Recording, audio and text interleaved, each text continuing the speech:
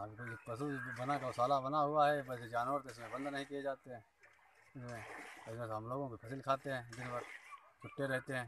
ना इसमें कोई चारा है ना कोई में डॉक्टर आता है ना कोई यहाँ कोई है इसका इलाज कोई करने वाला। कब बना था ये? तो बना तो था अभी हो गया पाँच छः महीना सात महीने बने हुए।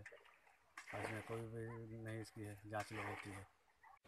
हमारे यहाँ समस्या यह है कि हमारे ग्राम सभा बाहर में यहाँ गौशाला कन्नौना में गौशाला बना हो रहा है। तो वहाँ जानवर बंद करे रहे हैं। जानवर के रो जो कुछ लागत लिख रही हो पैसा निकालो को हो या निकालो को हो, ये विषय हमें बताना है। लेकिन गौशाला के अंदर जो कुछ जानवर रहे सब बाहर कर दे गए। हम लोगों के रे खेत हैं, कतई सब बर्बाद हुई गए खेतन में फ़सल नहीं रह गई है।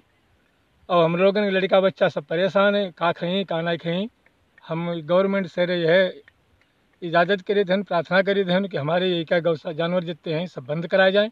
हम लोगों ने कहा जाए कुछ सहूलियत मिले, रात दिन यहाँ बचेबे काजे हो हम लोग रात दिन परेशान रहे, इनके बचेबे खातिर।